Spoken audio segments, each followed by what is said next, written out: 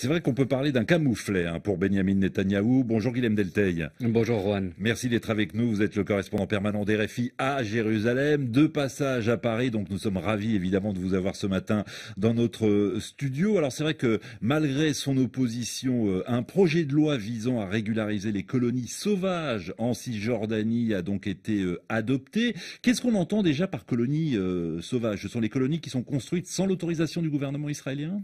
Oui, car il y a deux types de de colonies israéliennes en Cisjordanie. Il y en a qui sont considérées comme légales par le gouvernement israélien, qui ont obtenu des permis de construire et les, infrastructures qui vont avec.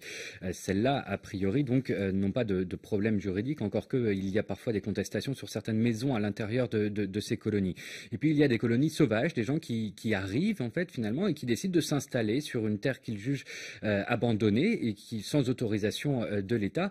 C'est le cas, en fait, d'une colonie dont on parle beaucoup en ce moment en Israël, qui s'appelle Amona, qui doit être détruite, a ordonné la Cour suprême d'ici le 25 décembre. Euh, c'est en fait un peu une extension finalement d'une autre colonie légale, elle, qui est située en contrebas. Amona, ils sont installés en, haut de la colline. les, colons estiment que ces terres n'étaient pas occupées et qui peuvent donc euh, y construire et revenir en fait, parce que mmh. ils estiment que la présence juive date de 2000 à 3000 ans euh, sur place et donc récupérer ces terres. Sauf que en fait, ces terres appartiennent à des gens, à des Palestiniens qui ont pu attaquer du coup en justice pour revendiquer la propriété de ces terres et c'est là-dessus que la Cour suprême a statué en disant euh, ces terres appartiennent bien à des Palestiniens, il faut donc les évacuer et donc détruire les, maisons qui sont sur place. Ce projet de loi, en fait, vise du coup ces deuxièmes colonies, ces colonies sauvages, à permettre en fait l'expropriation euh, des, propriétaires palestiniens, moyennant finance. Euh, l'extrême droite israélienne, le, parti, le, foyer juif, parti pro-colon qui est au sein de la coalition, dit notamment, qui porte ce projet de loi, dit notamment que les Palestiniens seront largement dédommagés mm. euh, pour, pour, le rachat finalement euh, de, de, ces terres. Mais la loi permettrait en fait de les exproprier sans leur demander leur avis et ainsi donc de légaliser finalement ces, ces constructions israéliennes situées en Cisjordanie. on estime qu'environ 15 000 colons de Cisjordanie euh, vivent donc en situation irrégulière au regard de la loi israélienne. On rappelle que pour la communauté internationale, toutes ces colonies sont illégales.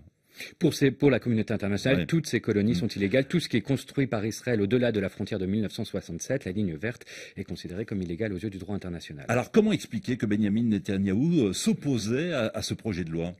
Alors, ce projet de loi qui est, qui est porté par une partie de sa, majorité, donc notamment euh, le foyer juif, un parti euh, pro-colon, euh, effectivement, Benjamin Netanyahou y était opposé, en tout cas au départ. Ce qu'il disait, c'est que ça pouvait avoir un impact sur la décision de la Cour suprême, car Benjamin Netanyahou avait demandé un report, un nouveau report, parce qu'il en avait déjà eu, de l'exécution de la décision de la Cour suprême concernant la destruction d'Amona. La Cour suprême a finalement tranché lundi en disant non, il n'y aura pas de report, on maintient la date du 25 décembre.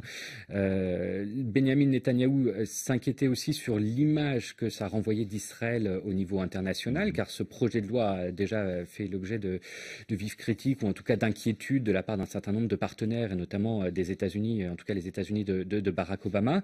Et puis justement, ça, ça, ça a inquiété aussi euh, Benjamin Netanyahou sur ce que pourrait entreprendre Barack Obama d'ici la fin de son mandat, car Barack Obama ne fait pas mystère de vouloir agir un petit peu sur le conflit israélo-palestinien entre, entre l'élection présidentielle, donc qui est passée désormais, et la fin de son mandat le 20 janvier la démarche peut-être la plus radicale qu'il pourrait entreprendre, ça serait une résolution au sein du Conseil de sécurité de, l'ONU. Cela inquiète beaucoup, beaucoup mm. les Israéliens. Ils s'inquiètent, enfin Benjamin Netanyahu se disait que peut-être ce genre de projet de loi, assez critiqué par les États-Unis, par les États-Unis d'Obama en tout cas, euh, pourrait le pousser à agir un petit peu plus fortement. Alors le projet de loi a été adopté à l'unanimité par une commission ministérielle. Il doit maintenant, euh, euh, j'imagine, être adopté à la Knesset, par le Parlement. Il va passer à la Knesset, effectivement. A priori d'ici donc la fin de l'année, parce que le projet, le, le, projet, c'est de pouvoir légaliser cette destruction, légaliser Amona, dont la destruction mm. est programmée pour le 25 décembre. Et donc le projet sera adopté par le Parlement, on en est sûr, ou Benjamin Netanyahou a encore les moyens de, convaincre les députés euh, de rejeter le texte? Politiquement, ça va être très compliqué, parce qu'en fait, si, ce projet a été adopté à l'unanimité dimanche par, par le comité ministériel, effectivement, c'est alors que Benjamin Netanyahou, quelques heures plus tôt, à l'ouverture du Conseil des ministres, avait demandé de, laisser tomber, ou en tout cas de, mettre de côté pour l'instant, en attendant la décision de la Cour suprême ce, projet de loi, c'est parce que Benjamin Netanyahu a été mis en minorité. D'ailleurs, il a fini par adopter en fait ce, projet de loi. Il l'a lui-même voté, mis en minorité par la frange mm. droite de son parti et la frange plus à droite encore de, son gouvernement. Donc politiquement, il est peu probable qu'il y ait une opposition, que le texte devrait passer.